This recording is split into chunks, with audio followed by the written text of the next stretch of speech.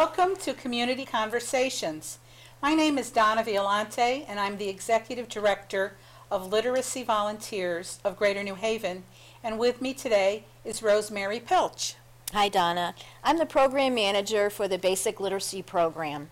Rosemary, I've been so impressed with the mission and the accomplishments of literacy volunteers since I came to the organization almost three years ago now. And uh, it's just amazing to me uh, how the program works, all with volunteers. And the fact that probably over 14,000 adults have received services from our organization in the last 40 years. How, tell me a little bit about how you came to Literacy Vol- Volunteers. Well, I actually started as a tutor. Oh, I, I didn't know that. yeah, My background is not in education. I have been in the financial service industry for many, many years, and through different mergers and acquisitions, I found myself looking for a career change. Uh-huh. S- And, and it just so happened I was always going to uh, teach reading and writing. That was always something in the back of my mind. I'm an avid reader. I cannot imagine my life without it. I, I don't know how people um, do as well as they do without the ability to read and write. I took the opportunity when they closed my branch to volunteer. And I worked in the Meriden office as a volunteer for a couple of years, and I had several students, some of whom I taught math to. That was a surprise to me. But anyway, um, uh, it was such an experience that I persisted, and I had a couple of different students. I enjoyed it very much. I think the volunteers get as much out of it as the students do.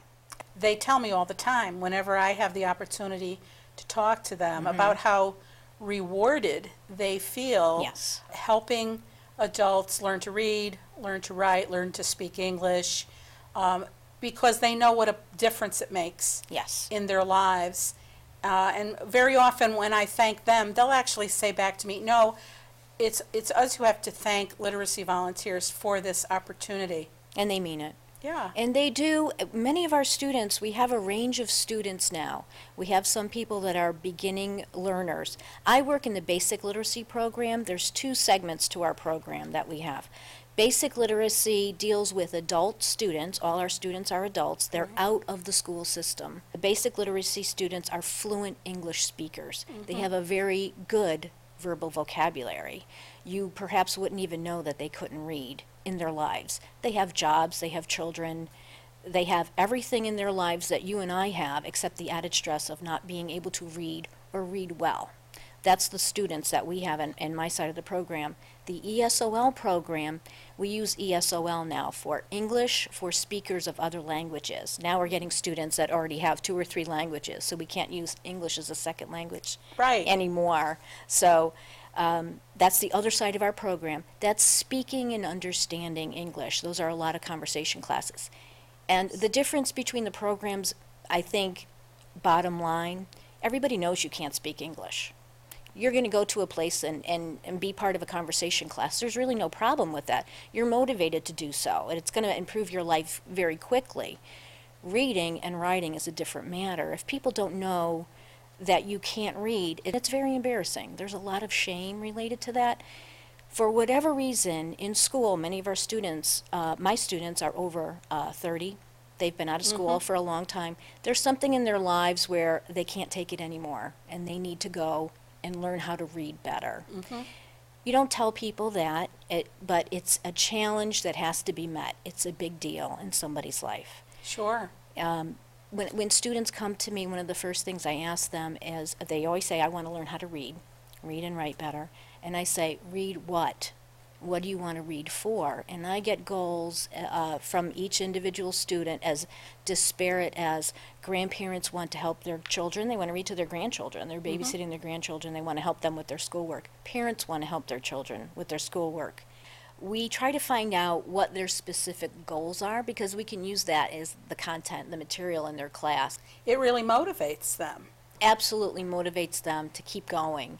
Many people want to, we've had a couple of people that want to uh, get their driver's license. We have people that want to pass certification tests. We have people that want to learn more about the safety instructions at work because they're asked to sign off on them.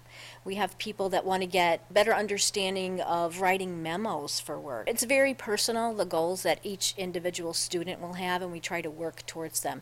Some people want to learn enough academic material, how to take tests, how to um, read at a, a better level so that they can work towards getting into adult education. And what about job applications, Rosemary? Do you do a lot, do the tutors do a lot with that? Absolutely. The um, job applications, sometimes they'll make simple resumes. This will be their goal. How do I approach this? How do I get all the information down? Applications of all kinds. They're, they're not the same for different places. We have a couple of computers that we allow people to use that um, they can actually apply for a job online with, the, with tutor's assistance. Great, Reading in America is a big deal. sure. And w- th- just think about the impact on a person's health, their Right. personal safety, the safety of their family, if they can't read prescriptions, if they can't read medical information. I myself sometimes have difficulty understanding instructions that come with medications. Right. I can't imagine what it would be like for a person who didn't read well. That might also be a big motivator. Absolutely. It's part of the whole picture. We've had people in class that were very motivated by work.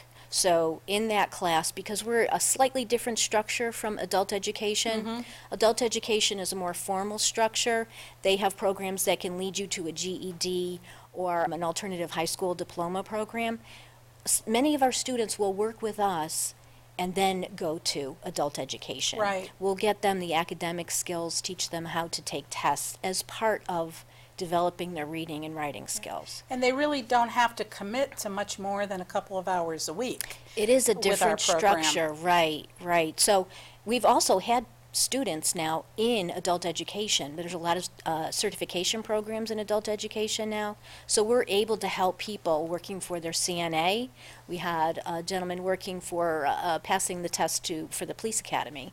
We have very specific goals um, for individuals, and we can help them do that. Sure. Because our classes are so small. Right. We'll I have mean, we even have tutors who work with the uh, Connecticut uh, Driver's Manual. Right. To help uh, Right. people who want to read well enough and to take the exam. Right. Or if they're from another country, what about all the, what about all the students who come because they want to take the naturalization exam? Right. And then it's just so exciting for them and for their family when, when they're, when they become a citizen. It, it's really just tremendous. Yeah. It's a big life event. I can now speak English and I am proud of myself. Thank you, thank you. It's one of the things that we celebrate big time. That Right. and food. All the different cultures will bring food. And Yeah. the citizenship test, we have a couple of people. If they're reading at the same level, speaking at the same level, we'll join those kind of people in the same class, and they'll all go through all the information that they need for citizenship tests Yeah. and things like that. So We there's can no that. like real beginners with more advanced students. You, they're, the groups are homogeneous, so people feel comfortable. Right, as And much that as way they get, they gain confidence. And Right. they become friends too. Yes, a lot of laughter comes from a lot of classes. That's part of the program manager's job. That the students will come to the program manager. We get referrals from other organizations that we work with. We deal with all adults, so there's different organizations that will encounter maybe the children and they'll understand that the parents need help working on reading and writing. People will tell us the library is a great asset for us. We've had several referrals from the library and we use the library as a place to have our classes too. What are some of the other uh, class locations? We've had, um, we've had classes at SCOW, Spanish Community of Wallingford. We've had classes at Masters Manna. We've had classes, um, we have classes in church basements. We've, any public and safe place for people, uh, for our students and our tutors to meet together. What I've witnessed is that our classes uh, tend to be very welcoming.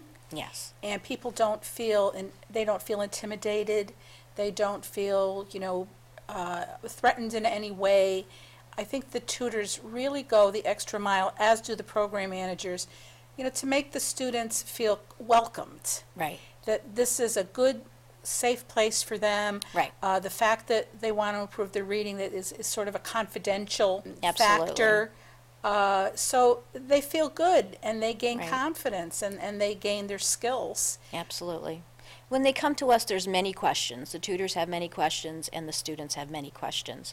The program manager is kind of the, the gateway between the two.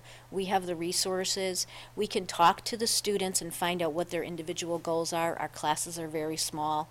And we know the tutors. We go through training with tutors. There's a couple of classes that they, that they take with us. We ask them to observe other classes so they get an idea. Many of our tutors don't have education backgrounds. Right. They come from all different fields. Some work, some are part-time, some have college degrees. Some are retired. Some are retired, and it's, they're available all different times. As long as they have a good grasp of uh, written and verbal communications in English, they can tutor a class for us. We, we emphasize tutoring adults in our instruction so that there's many different tools we put at their disposal that they can take into the classroom. Our classes for our ESOL students are full English immersion.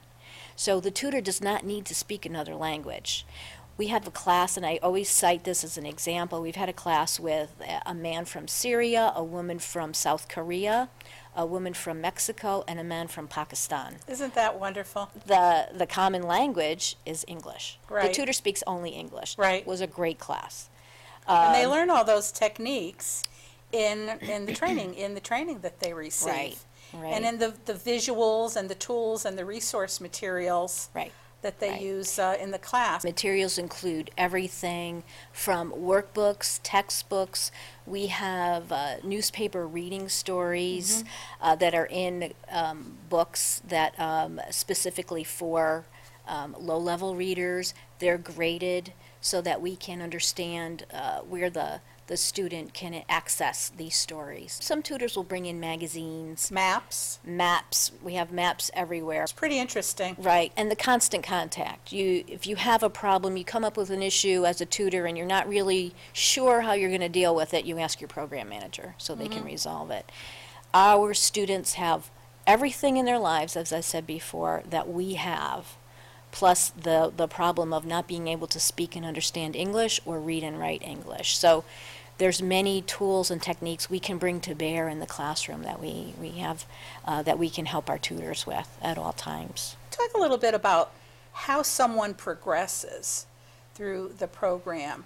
Uh, because obviously, if someone comes in at kind of a survival level from another country where they speak absolutely no English, it's going Right. to take a little bit longer. We have people who are native speakers and have been in our country, Mm-hmm. were born in our country and went mm-hmm. through the school system, but maybe read at only a second or third grade reading level. Mm-hmm.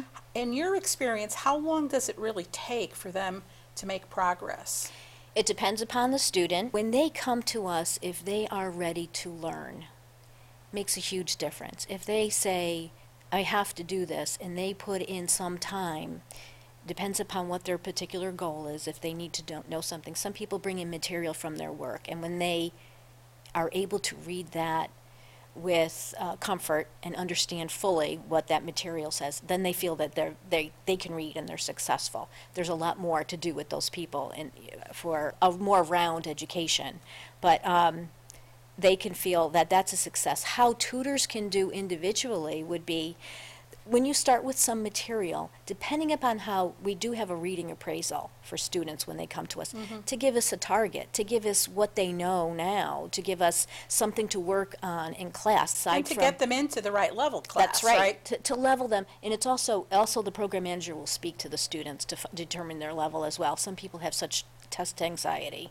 It's one tool among many others. So we get that information from the test. We give materials for the tutor to take into the classroom for that Right. student, and the feedback with the tutor and uh, the the program manager will determine yes it's good for the the student no the student is going right through this it's too quick even when i was a tutor i used to take material our student would read it in class and i'd put it away for a couple of months later the student would read it again and realize how far they've come That's just super. And it would be total shock. They, they, they wouldn't feel that they've really read material, uh, that um, everything is still a struggle or something, and then you give them material that they started with. And if you, you're sure you've built the vocabulary, the comprehension strategies have worked, and the tutor has been working on it persistently, just that little bit is amazing for the, the confidence of the students that come through the class.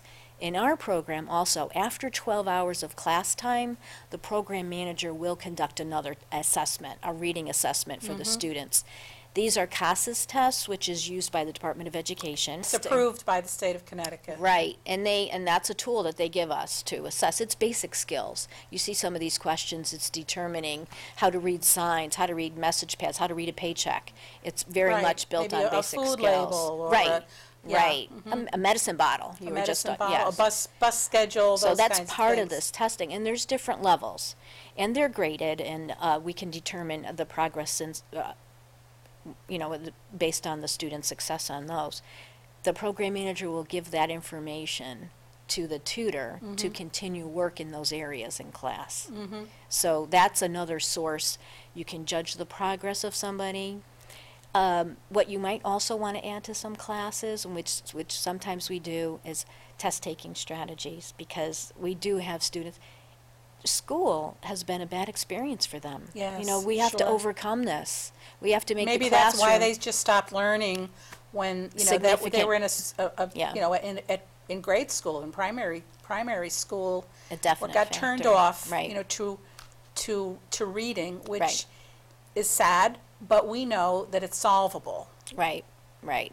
With persistence on the Right. part of the student. As I, I have a story that um, one of our um, students wrote about his life in Jamaica, and he says, you can go through your life in Jamaica without having to learn how to read. In America, you cannot. You fill out uh, applications for jobs. You go to the doctor, you fill out applications. You go and get your driver's license. You must read and write to live in America successfully. Yeah, No one's helping you or assisting you when you're handed that form and have to Right. read it and check off vital information. Right, right.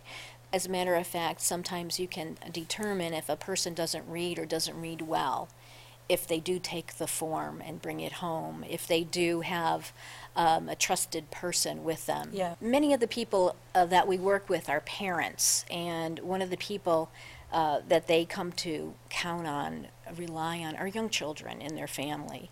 They bring forms home to these children. They take these children wi- with them to their doctor's appointments, to the mechanic, to speak for them, to read material for them.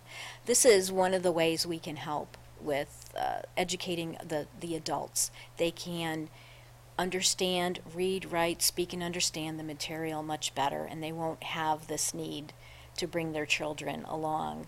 That's really great. Yes, it is. It's a great success that the, some of our students count this as a as a milestone in their lives. I went to the doctor and I didn't have to take my daughter with me.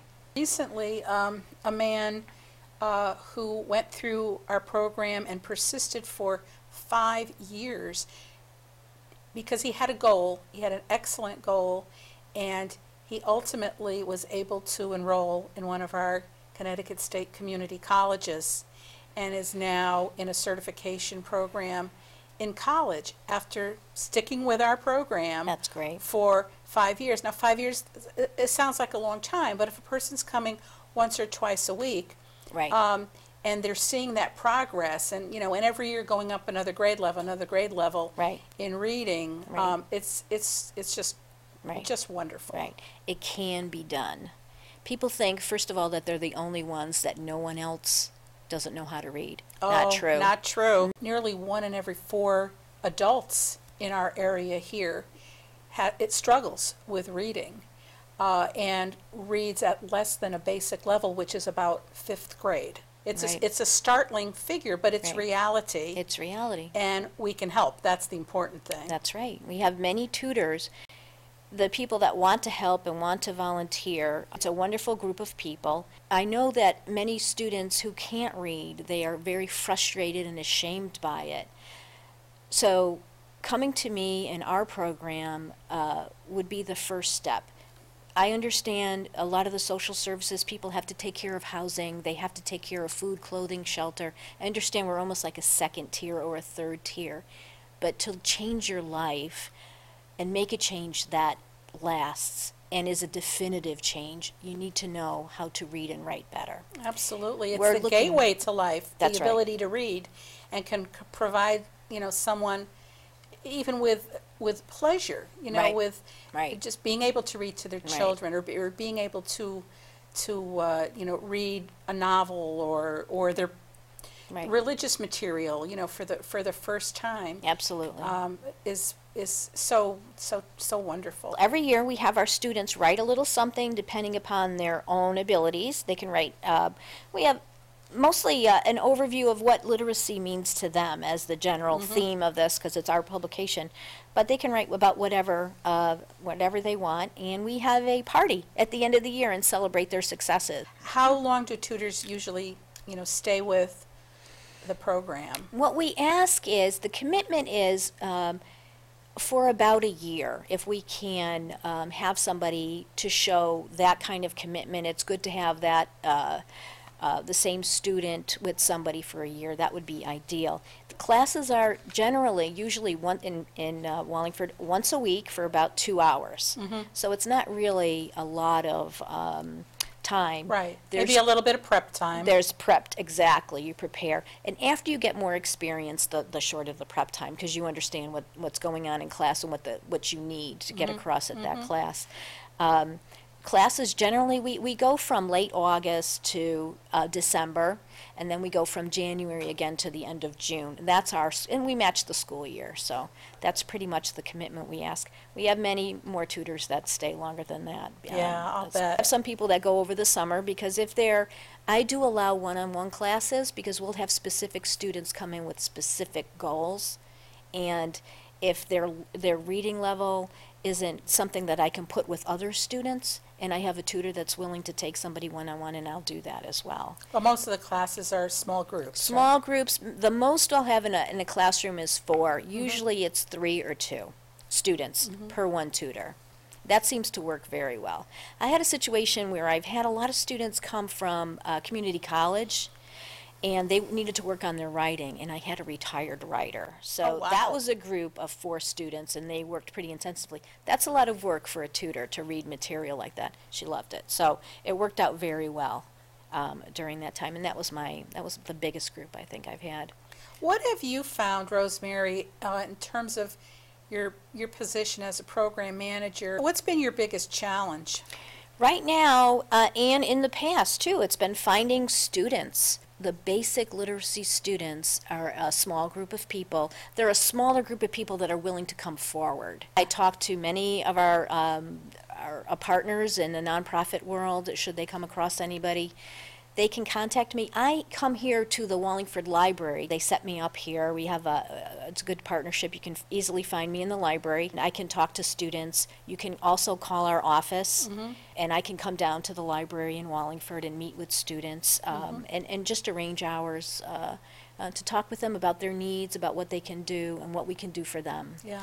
I have a lot of tutors are available at different times. We don't have to have a structure. We can meet in the afternoon or we can meet in the evening. We use the libraries as classrooms. We can go into a discrete corner or a small study room, which we've done many, many Yeah. times. We can work with, with students. We definitely encourage them to come forward, change your life, start working towards reading and writing better. Yeah. Or maybe, you know, if there are viewers of uh, community conversations who know of people in their family or Mm-hmm. friends or their, their neighborhood uh, who could use our services, you know, they can always Absolutely. refer people Absolutely. to us. I- That, this is, uh, this is such a great opportunity Mm-hmm. for us to be here at uh, Wallingford Public uh, Access because getting the word out uh, to people who don't read is, is a tough thing to do. Right. So, but most people watch TV Right. and, you know, there's a great viewership um, Mm-hmm. here on, with this channel. So hopefully it's going to generate some more calls and some more people that can be served. We're ready. can really help improve their life. We're ready for them. Yeah, Great. yeah. So thanks so much. Thank Uh, you, this was- Donna. This was a great conversation. It was great to talk with I you. hope that everyone, uh, you know, learned something from it and uh, knows more about literacy volunteers, uh, what we do, and, and how we can help. Thanks so much.